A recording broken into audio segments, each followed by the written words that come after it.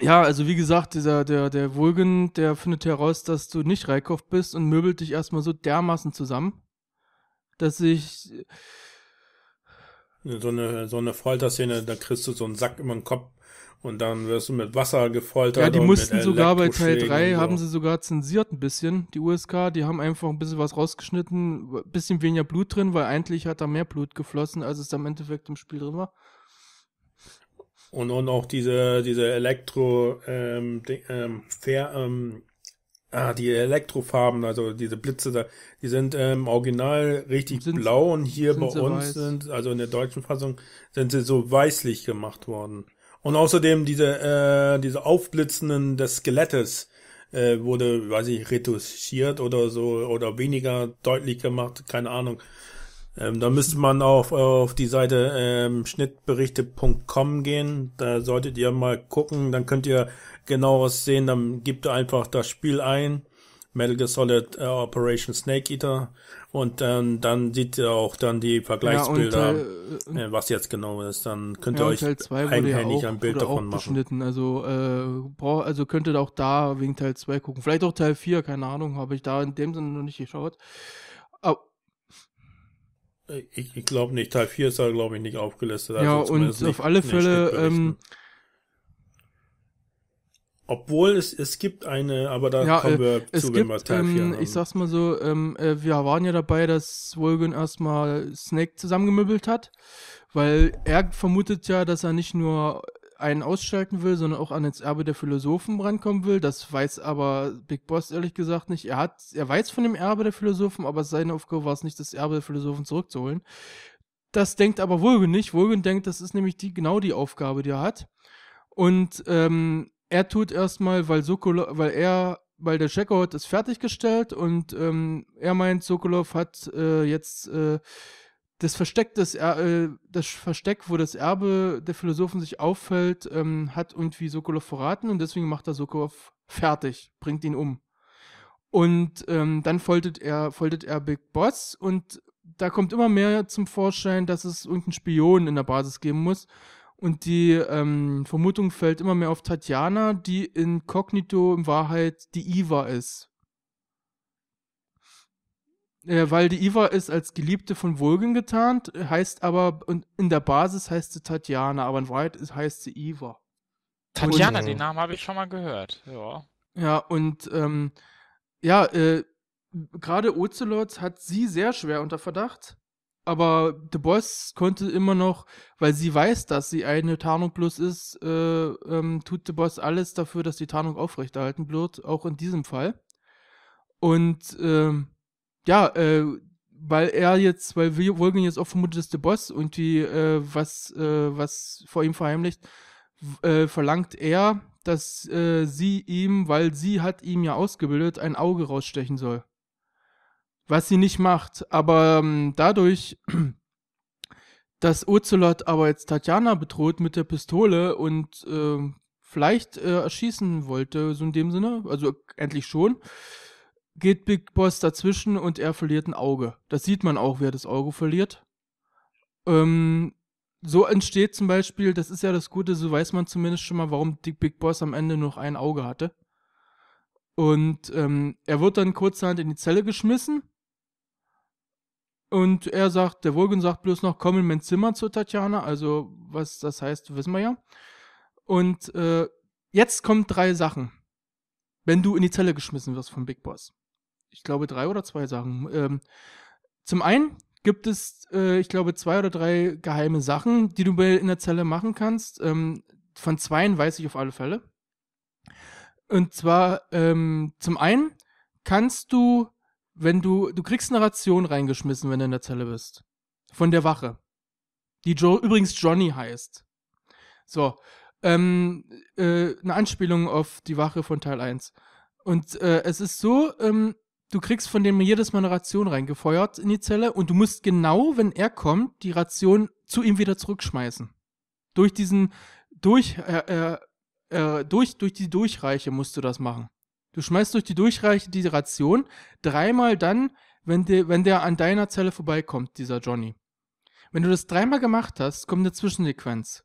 Dann labern sie drum, äh, warum er Johnny heißt, äh, dass es eine Familie voller Johnnys gibt und so weiter und so fort, dass er endlich ja, das ist sein, das ist der äh, Vater von dem Johnny Ja, aus und, dem äh, ersten das, Teil ähm, dann ist. Ja, dass, äh, dass er halt die Amerikaner eigentlich gar nicht mag und dass eigentlich das, was er jetzt macht, überhaupt nicht möchte und so.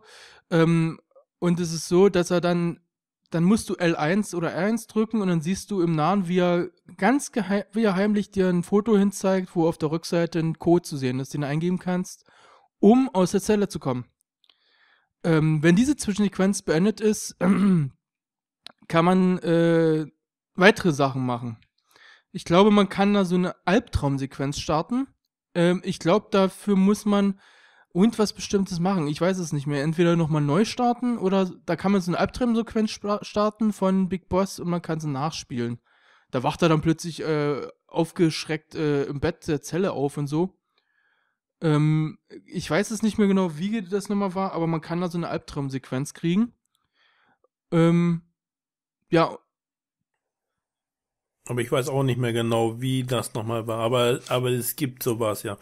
Und wenn du jetzt zum Beispiel das mit dem Foto jetzt nicht ge gemacht hast oder hast das nicht gewusst oder so, dann kommt später im Verlauf, ich weiß jetzt nicht, wo, ob das nochmal in dem Folterraum ist, äh, dann, äh, ja, da taucht er äh, äh, hinter, hinter Wolken oder hinter Ocelot noch äh, der, äh, der Sorrow auf, der hält dann so eine Tafel mit dem, äh, mit diesem Ausbrechcode eingibst. den du dann über dein ähm, ähm, ja, Funkding eingibst, wo du dann, das ist so eine Art, wo du ja sonst eigentlich Radiosender und, und so diese Radiosequenz, äh, kannst du hier diese, ähm, dieses Schloss dann ähm, auf, aufbrechen oder besser gesagt aufhacken sozusagen. Und dann öffnet sich das dann. Hm. Ja. Es ist, es ist, äh, ähm, du musst da viel mit dieser, mit dieser Möglichkeit, weil du kannst äh, bei gewissen Zwischensequenzen L1 und R1 drücken, um quasi alles aus einer anderen Perspektive zu sehen. Das ist manchmal hilfreich. Nicht immer, aber hilf manchmal auch hilfreich, um gewisse Sachen zu sehen, die du so nicht siehst. Und ähm, das war hilfreich. Du gibst diesen Code ein, du kommst aus der Zelle raus und Eva hat deine Klamotten geklaut, um äh, sie dir dann zurückgeben zu können.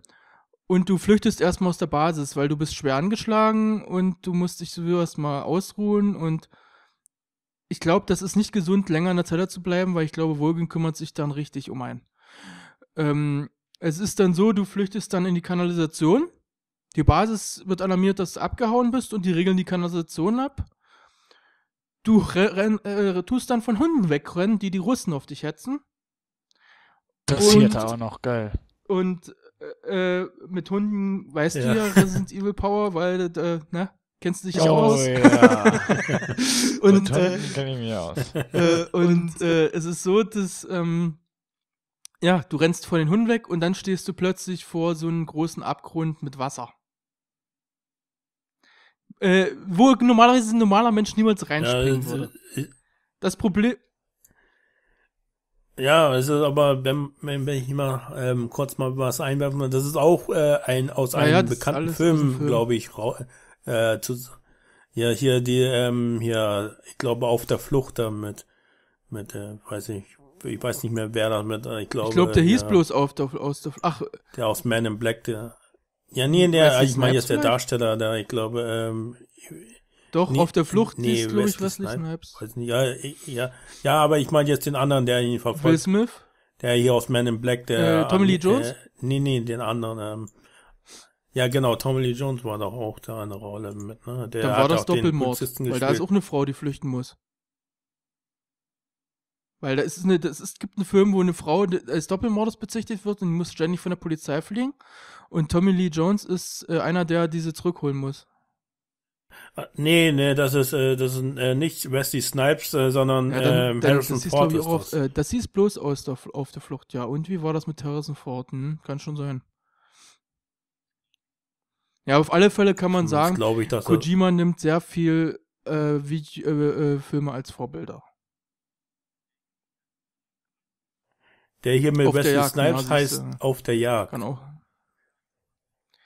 Ja, ich weiß aber das- jetzt das nicht, welcher so Film jetzt diese finden, Szene hat mit das dem. ist eine Bruchteil von der Sekundenszene. Musste, du musst schon wissen, wie genau der Film hieß, um da nachschauen zu können. Und selbst dann.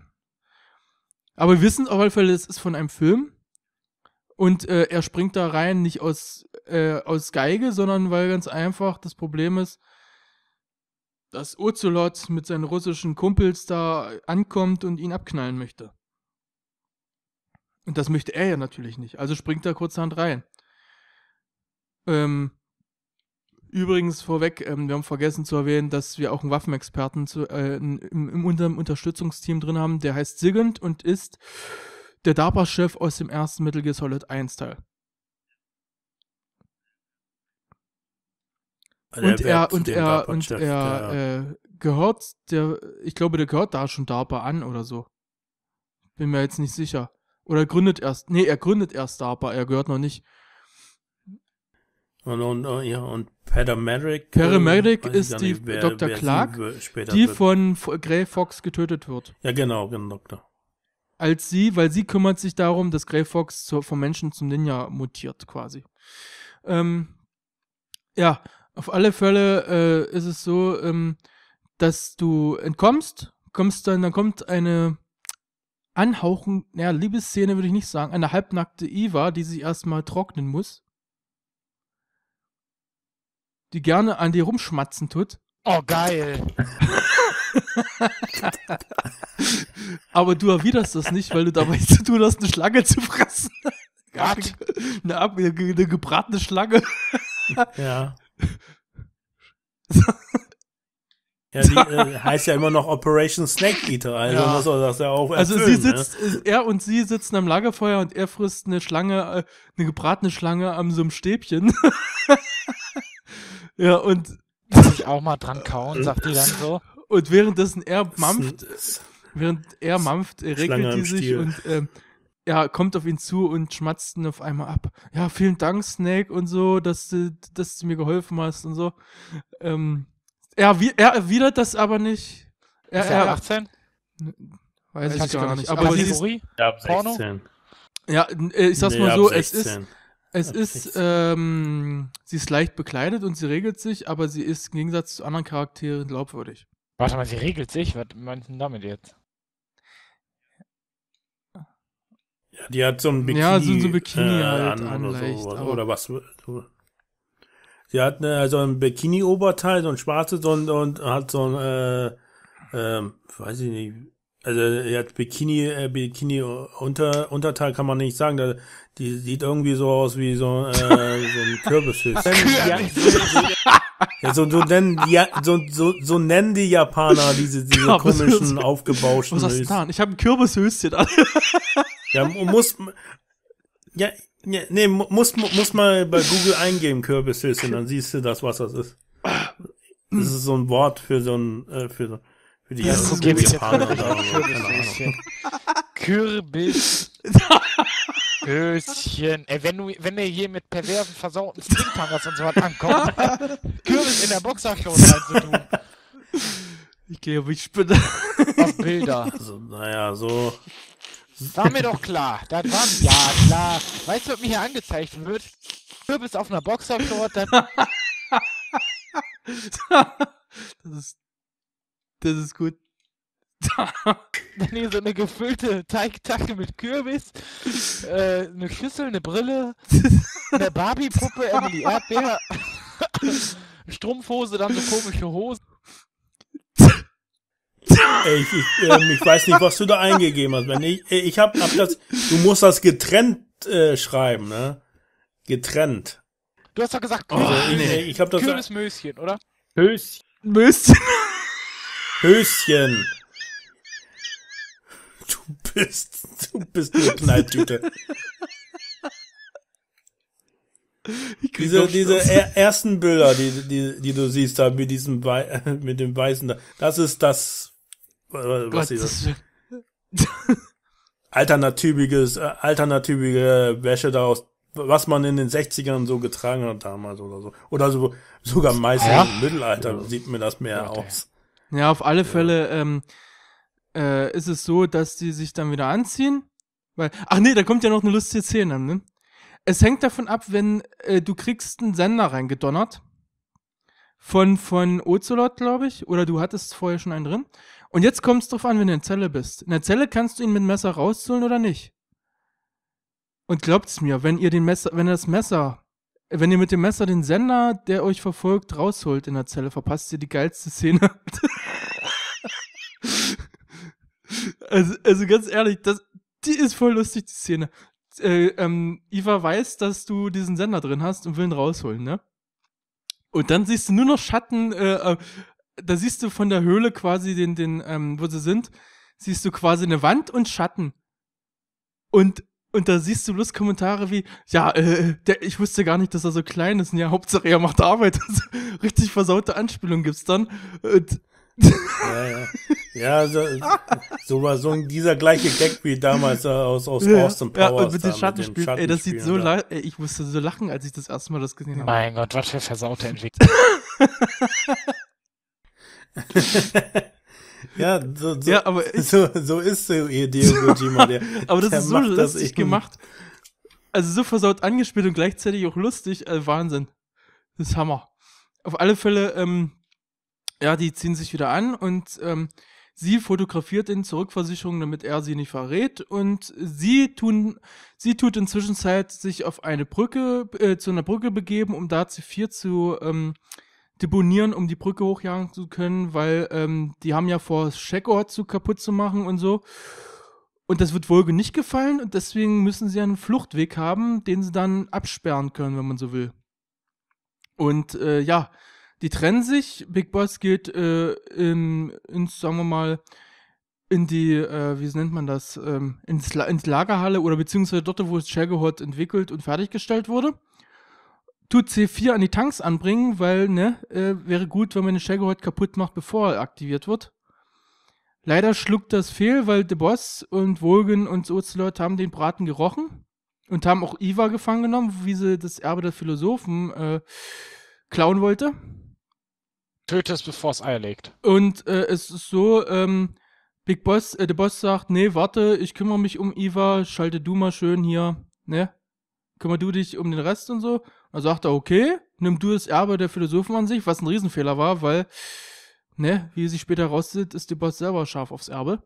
Ähm, und es ist so, ähm, sie ist weg und Ocelot ist noch da und Vulgan ist doch noch da und Big Boss und Vulgan und Ocelot sind sich auch nicht mehr grün, weil Wo- Ocelot hat noch eine Rechnung mit, The Boss, äh, mit, mit Big Boss auf, äh, offen. Und er möchte sich eigentlich um ihn kümmern, aber Vulgan sagt halt, die Schnauze, ich kümmere mich jetzt um ihn. Ähm, und äh, dazu kommt es jetzt zum Endkampf. Und es ist so, auch hier kann man ihn mit Betäubung ausschalten, den Vulgan.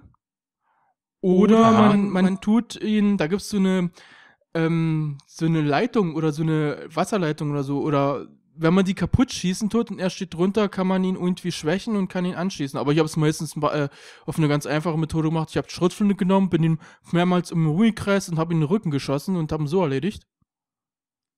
Allerdings, äh, wenn er Blitze auf dich schmeißt, während du eine Waffe äh, gezückt hast, kann es sein, dass du, äh, dass die Munition quasi verpufft in deinem Inventar. Und ähm, ich, ich weiß gar nicht, ich glaube, du, es kann sogar sogar sein, dass du. Nee, das ist bei The Boss, bei dem Kampf gegen The Boss. Ähm, ähm, nee, bei Vulgan ist es dann, äh, der kann euch, der kann wirklich die, deine komplette Muni gern in den Arsch gehen, ohne dass du einen Schuss ange- abgegeben hast. Also musst du, Ja, wenn du die Waffe ausgerüstet hast, wenn du die jetzt weggepackt hast, dann passiert nichts. Aber wenn du die in der Hand hast, dann, ähm, dann, äh, dann ist die Munition dann aus dem, die in der Waffe ist leer, dann ja, musst weil, du weil dann die wieder alles pulveri wird ja nachfüllen pulverisiert und- durch die Blitze ja. von Vulgan. So, ich habe hier mal, was ist das, diese Eva oder Eva oder wie die heißt? Wo die hier Sex. Ja, ja. naja. Er, er holt sie da Ja, aber die es ist, Kugel aber es ist, glaub mir, die Szene ist und so witzig. Ey, da kann man sich kaputt lachen. Ja, ich habe ich hab mich auch äh, noch ich habe noch mal auch noch mal geguckt, die ähm, was ich jetzt eben gemeint habe mit den äh, mit der Unterwäsche. Wie man sieht kann, ist es doch ähm, Bikini Unterteil. Ähm, ich habe mich geehrt in der ersten Begegnung hatte äh, diese komische äh, dieser mh, äh, Motorradfahrer Hose an und äh, das ist das was da was weil sie hat sie die Hose so halb anhatte, da, da, das Teil sah so aus wie so ein Kürbishöschen. Da, ich habe mich also geirrt, also die hat nicht direkt so ein Ding, sondern es ist nur dieses äh, Füllmaterial von dieser äh, Motorradhose äh, oder Motorradanzug da gewesen. Also entschuldigt, wenn ich da ja. eben Quatsch ja, erzählt Ja, auf alle hab. Fälle ist es so, äh, wir schlagen Wolven. Wir müssen ja zweimal gegen ihn antreten. Äh, Ocelot scheißt momentan ziemlich auch auf Wolgen, weil er äh, zieht sich auch zurück. Äh, und ähm, es ist so, ähm, wir schlagen Wolgen, er ist nicht tot, er ist nur geschwächt, aber wir können die Zeit nutzen, um abzuhauen, weil die C4s äh, oder die C3s in dem Fall, die sind ja noch da. Und die ticken weiter vor sich hin. Und die gehen auch hoch äh, und wir, wir treffen Iva und Iva meint, sie hätte mit dem Boss geredet, der Boss hat sie laufen lassen und der Boss wartet am sie auf Big Boss. Gut, äh, sie hat ihr Motorrad wieder und wir versuchen zu kommen, aber leider sehen wir, wie die Halle auseinandergepflückt wird. Nicht nur durch die Explosion, sondern auch durch den Checkout, wo jetzt Vulgan drin sitzt. Aha. Und Vulgan jagt uns durch die halbe Basis, die, die dann von, von Vulgan und seinem Checkout platt gemacht wird. Inklusive tut er seine eigenen Leute killen. Das ist echt besoffen, ey. Also es ist cool gemacht, die Szene. Also die ganze, die Verfolgungsjagd. Die Verfolgungsjagd geht, über die ganze Flugbahn wo eigentlich der Shaggerhot äh, sein sollte und der Shaggerhot verfolgt uns ohne Ende, wir müssen auf den Dorf schwarten. Uzlot verfolgt uns auch noch, aber der wird von Vulgan kurzerhand abgeschüttelt. Wir gehen über die Brücke rüber, nehmen das Scharfschützengewehr und schießen das C3 kaputt, wo der Shaggerhot gerade raufgeht und der Shaggerhot sauft ab, weil er ins Wasser fliegt, weil unter der Brücke war natürlich Wasser. Und ähm, wir denken, oh, super, jetzt haben wir es hinter uns, nix da. Wohin kommt dann, kommt dann wie, ein, kommt dann ohne Ende durchgestartet und fliegt über die Luft hinweg, über uns drüber hinweg halt mit dem Checkerhot und sagt, na, noch nicht, noch ist nichts beendet. Und, ähm, ja, wir müssen mit dem Raketenwerfer, müssen wir jetzt den Checkerhot platt machen. Was uns gelingt, weil wir zweimal antreten müssen, weil Einmal müssen wir eine Öffnung hinten am Shaggerhot platt machen, äh, äh, äh, anschießen und des anderen, bei der zweiten Variante, ähm, tut sich Iva als Lockvogel bereitstellen und Vulgan jagt sie, weil Vulgan, ähm, ich sag mal, wir haben den Shaggerhot beim ersten Mal so beschädigt, dass er selber nicht mehr funktioniert. Also hat sich äh, Vulgan gedacht, okay, ich gehe jetzt raus, stelle mich auf dem Shaggerhot, knall meine Arme rein in den Jaggerhot und äh, steuere den selber mit meinen Blitzen. Was ist denn so ein Jaggerhot? Kannst du mir das mal erklären? Das hat so ein Flugzeug oder was? Naja, das ist, äh, das ist, brauchst du bloß äh, Suchbegriff Metal Gear Solid 3 und Jaggerhot eingeben, dann siehst du, wie er aussieht. Einfach, einfach Metal, äh, Metal Gear Solid, Metal Gear Prototyp eingeben, dann, dann siehst du da, wie er aussieht. Das ist ja Metal Gear Prototyp. Ähm, und ja. Ja, war, soll auch Sieht aus wie, wie ein Panzer, und den er, den er dann äh, umbauen kann. Äh, in, in, äh, das sieht aus wie so ein, wenn er auf zwei oder vier hm, Beinen Keine Ahnung, ob ich das jetzt richtig geschrieben habe. Jacker Hot. Ja, wenn, wenn nicht, äh, tue ich es nach dem.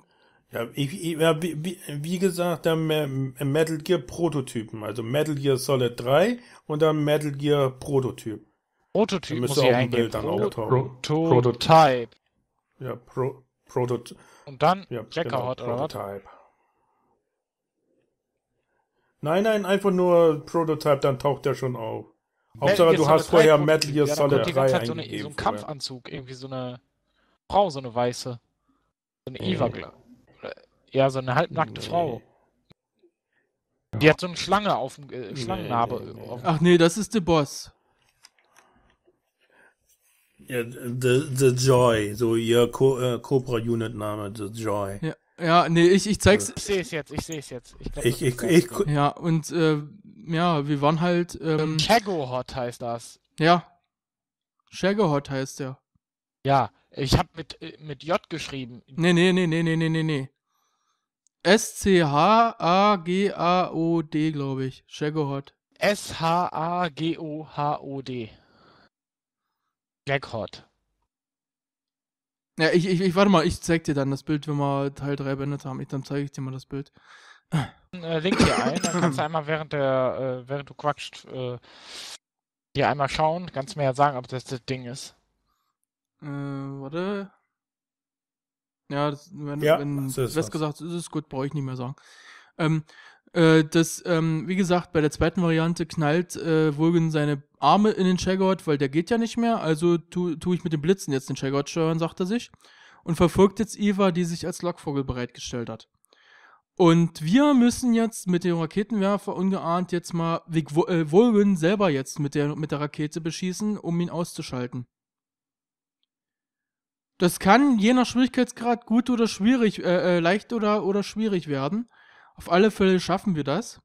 Und Vulcan ähm, dachte sich, äh, äh, ihr glaubt doch wohl nicht, dass ich mich vom Blitz treffen, äh, äh, äh, beeindrucken lasse oder töten lasse, weil es regnet mittlerweile. Ja, und er hat den Fehler begangen, er ist noch mit, er ist noch auf so einem Metalldings drauf und ist noch mit dem Metalldings verbunden und die Blitze, die, ja, ja, und die Blitze, die treffen ihn gnadenlos. Und es nimmt kein Ende. Es, er müsste eigentlich dahin schmoren. Ja, ja, er schmort auch vor sich hin. Okay, gut. Dann haben wir dieses auch schon mal. Ähm, Big Boss, Big Boss äh, hat nur einen Kommentar übrig und sagt, äh, äh, äh, gebraten oder geschmort vom, vom Blitzen ein passendes Ende. Sagt er bloß noch. oh Mann. Und ähm, ja, beide sind froh, dass Wolgen tot ist. Als Spieler ist man eigentlich auch froh darüber. Und äh, man haut dann ab, äh, weil die Reste äh, von Wolgens Einheit jagen uns jetzt erstmal. Durch den Wald, durch Gebirge, bis wir bemerken, oh, der Treibstofftank ist im Arsch und wir fliegen, ja, wir fliegen von der Klippe und stürzen auf so ein Fel äh, auf so eine, auf so ein, ähm, ja, wie sagt man, auf ein paar Äste und äh, Iva wird durchbohrt. Oh, oh, oh. Und ähm, ja, wir können uns heilen, aber Iva müssen wir auch heilen, weil sie kann jetzt nicht mehr so, weil sie ist jetzt angeschlagen, sie ist durchbohrt worden und wir, muss, wir mussten sie heilen.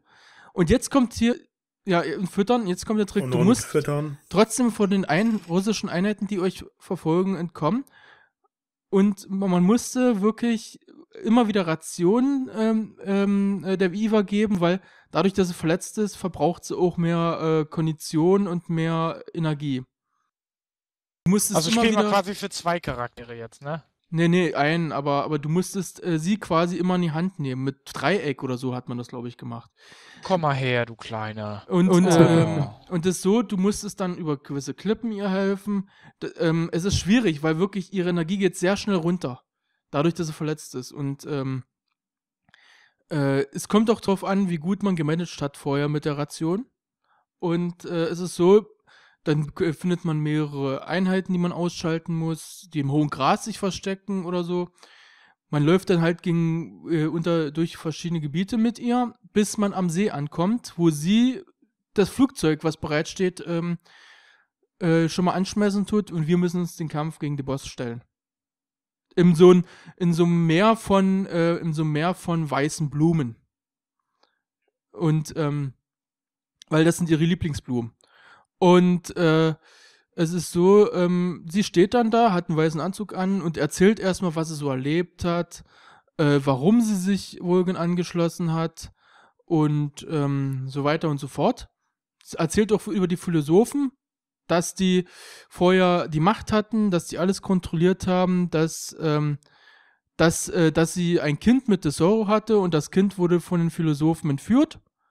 Und ähm, ja, äh, die Philosophen haben sie irgendwann aufgelöst und sie hat versucht, dies jetzt, äh, sie hat jetzt Vulcan äh, geholfen, weil sie wollte das Erbe der Philosophen und damit die Philosophen einigen oder vereinen.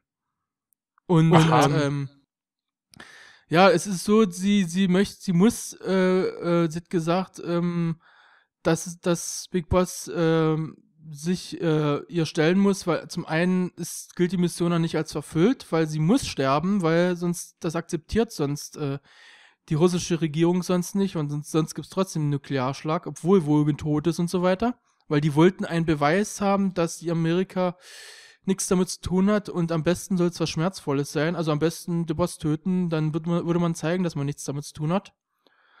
Und ja, dieser Kampf ist echt schwierig, finde ich. Weil zum einen hast du Zeitdruck, weil das läuft die Zeit, du hast keine Zeitanzeige, aber du hast trotzdem Zeitdruck, weil ich glaube, nach zehn Minuten ex- siehst du bloß noch, dass du gestorben bist, weil weil trotzdem Khrushchev oder wie der Präsident, der russische Präsident heißt, ähm, Nuklearschlag äh, nach Grosnygrad angefordert hat. Und das ist ja natürlich, Nuklearschlag geht ja nicht nur ein Kilometer, es geht ja mehrere Kilometer lang. Und das trifft automatisch Snake und Big Boss dann auch. Oh Mann. Und äh, es ist so, äh, du hast dann Zeitdruck und du musst sie besiegen, weil sie mach, hat Nahkampftechniken. Sie kann dir die Waffen kaputt machen. Sie kann dir, den, der, sie kann, wortwörtlich, ist mir passiert.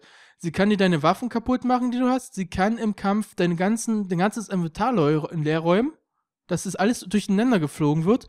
Das heißt, du hast dann damit zu tun, erstmal dein halbes Inventar wieder aufzusammeln, weil sonst kannst du sie nicht töten. Und, und äh, wenn du sie triffst, ähm, du musst wirklich eine Nahkampftechnik einsetzen. Äh, CQC heißt das in dem Fall. Close, äh, Close Quarter Combat oder, oh, ich kann das nicht aussprechen, Mann. Äh, ihr wisst schon, was ich meine. Äh, CQC heißt es abgekürzt. Ähm, Nahkampftechnik, die Big Boss und äh, Naked Snake bzw. Big Boss ähm, entwickelt haben gemeinsam. Damit musst du sie überwältigen und musst, wenn sie am Boden liegt, einfach eine Knarre ziehen und auf sie drauf feuern ohne Ende, damit sie stirbt. Und das musst du mehr, mehrmals machen, weil sie kann sich auch gut verstecken in dem, in dem Blumenmeer und so weiter, weil sie halt diese weiße Rüstung anhat.